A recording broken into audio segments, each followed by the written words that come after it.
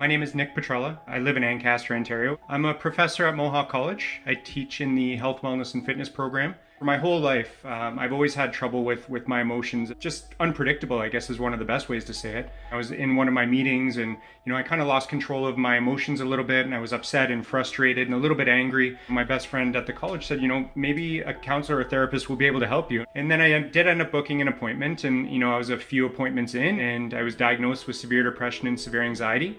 And rather than that be kind of like a relief or anything like that, it sent me spiraling out of control. And, you know, for the next five years, I literally was living minute by minute and struggled with suicide, you know, almost every minute of every day. And then I, I literally just kind of hid. I spent a lot of time crying on the bedroom floor in the dark because I didn't know what else to do. I, you know, I'd been in and out of therapy so many times that uh, I, I kind of given up on it at that point. My best friend, same person that recommended therapy the first time, she called me and I remember her saying, Well, when is your next therapy appointment?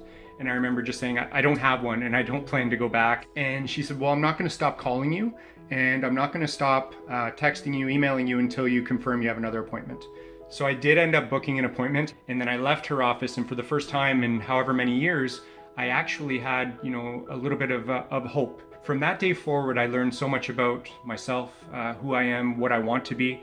So initially, there was a lot of struggle about the, the masculinity behind dealing with your brain health.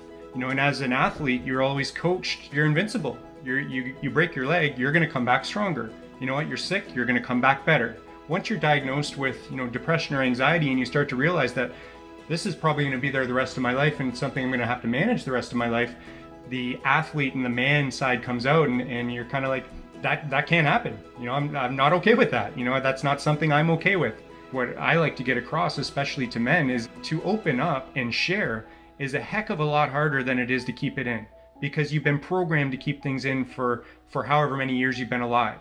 So to actually open up and say, this is happening right now, or this is going on, or I'm struggling with thoughts of suicide, or I've thought about killing myself, that takes a heck of a lot more strength and courage than it does to keep it in. I say my story kind of, it's unique because that best friend um, that I mentioned that recommended therapy, that helped me get back into therapy. Um, we're actually, we've been married uh, two years now and we have two young daughters. I couldn't imagine not being with my daughters right now. I couldn't imagine not seeing them off to daycare.